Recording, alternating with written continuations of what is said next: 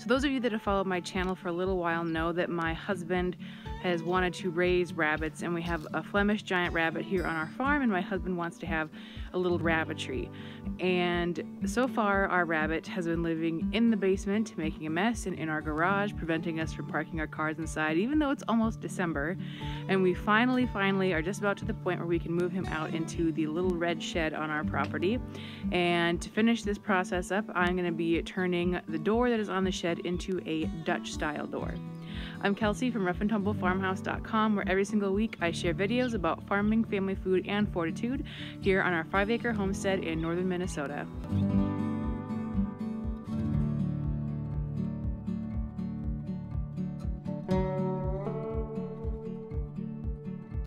So I'll be perfectly honest with you, I have yet to actually write the blog post that goes along with this Dutch door project. So I don't know the history of these doors or anything like that. So if you want more information on that, check the description box below. I will show you what I'm going to be doing. And again, if you are familiar with this channel, you know that all of my construction projects are completely half-baked and I'm basically just kind of winging it because I really have no idea what I'm doing. So I just kind of go for it. So if that's the sort of construction project that you also are into, please keep watching. If you're anyone who knows anything about construction, please stop watching because this is probably going to be kind of painful for you.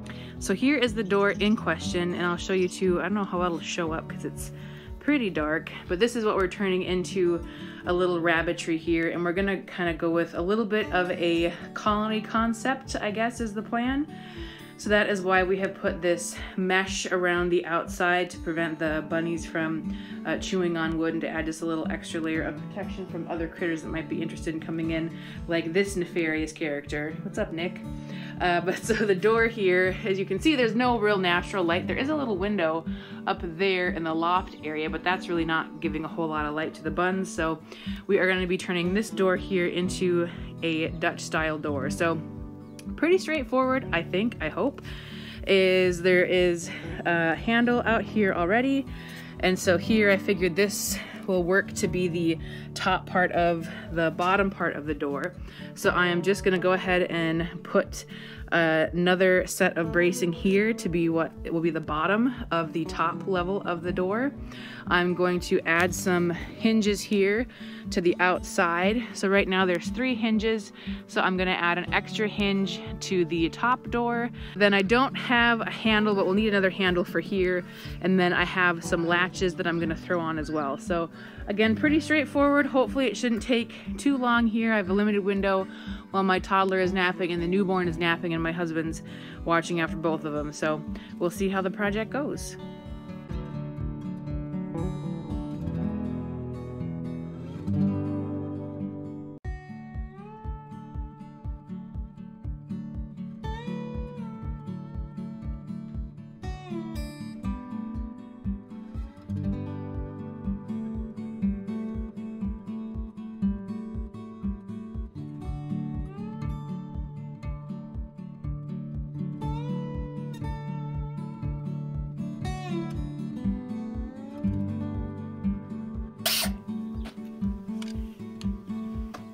Lord knows that when I die, the sins I'm going to have to answer for are most definitely going to include thousands and thousands of destroyed drill bits. okay, since I checked in, which was just mere seconds ago for you, but been a while for me, I'll show you uh, the progress I've made. So, and it's also too hot to wear a hat, but not, it's like that weird fall kind of temperature. Okay, so so these crooked sons of guns went in. They're in. They're not perfect, but they're in to keep the top door more stable. And then out here, I threw on another hinge, which definitely looks new compared to its rusty counterparts. And then I also put on just a real simple latch for the bottom part of the door. These things are really simple to install and are pretty, I think people have been using these sort of latches for like millennia. Uh, I had to have it over a little further left than I would have liked because of these nails that were here. They just happened to line up about perfectly, but it still is pretty snug and secure, I think. So I feel pretty good about that. And again, really easy and didn't destroy a drill bit, thank goodness. One thing if you're watching this and you are also a half-baked carpenter like I am, just making sure that when you install these you have it so that it's latching downwards like not flipped upside down so that it's latching up.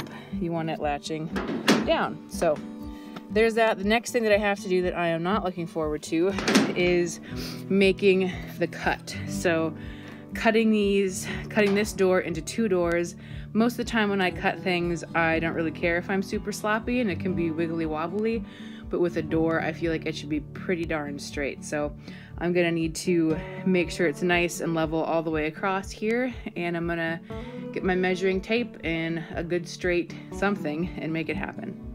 Okay, hat back on. It's cold enough for the hat again. Well, I have a Dutch door, technically.